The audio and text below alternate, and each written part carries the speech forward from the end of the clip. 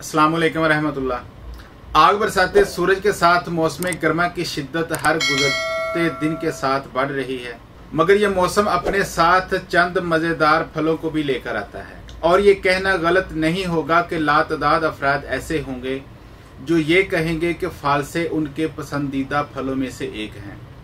फालसे का जूस बनाएँ या वैसे ही खा लें कुछ दिनों के लिए आने वाला ये फल कई तरह से मुँह के टेस्ट को बेहतर बनाने का काम करता है। मगर क्या आपको सेहत के लिए इसके फवायद का इलम है? जिनमें से एक हीट स्ट्रोक से बचाव बचाव भी है। नहीं पता तो इस वीडियो को मुकम्मल देख लीजिएगा।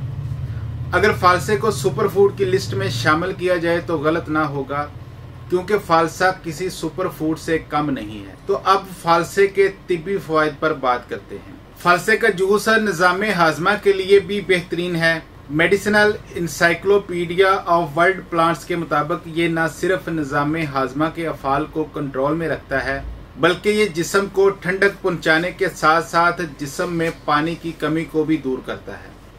कुछ माहरीन के मुताबिक फालसे का जूस पीने से पेट के दर्द का भी इलाज मुमकिन है।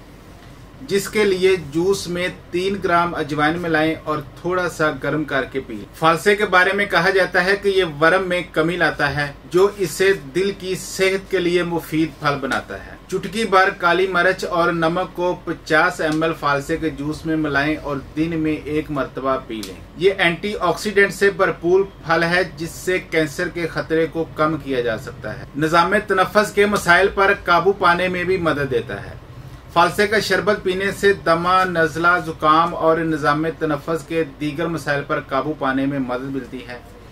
बस फालसे के जूस में लीमू का अरक या अदरक का इजाफा करें और पी लें। ये नन्ना फल मसल्स बनाने में भी मददगार साबित हो सकता है, जिसकी वजह पोटाशियम और प्रोटीन की मौजूदगी है, जो कि मसल्स मज़बूत बनाने के साथ पट्टों के अफाल को भी बेहतर कर प्रोटीन की वजह से फालसे खाने की आदत जिसम को ज़्यादा तवा नहीं फ्राहम करती है और इसका शरबत भी इस हवाले से मददगार साबित हो। इस फल में कैल्शियम की मकदार काफ़ी ज़्यादा है, जो हड्डियों को सेहतमंद बनाने के लिए ज़रूरी जो समझा जाता है। सेहतमंद हड्डियाँ उम्र बढ़ने से हड्डियों की कसाफत कम होने का खतरा भी कम करती है। फलसे में मौजूद आयरन खून की कमी दूर करने में मदद देता है। आयरन की कमी, खून की कमी के साथ मुख्तलिफ़ तिब्बी मसाइल का खतरा बढ़ाती है, जिसकी एक अलामत हर वक्त थकावट तारी होना भी होती है। जैबतीस के मरीज़ दिल खोल कर खा सकते हैं। फालसे में मिठास आमतौर पर ना होने के बराबर होती है। Pakistan journal of pharmaceutical science के मुताबिक फालसा कम शक्कर वाला फल है, जिसका मतलब है कि जैबातीस और खून की शरियानों से मुतलक अमराज के शिकार अफराद इससे लुत्फ अंदोज हो सकते हैं।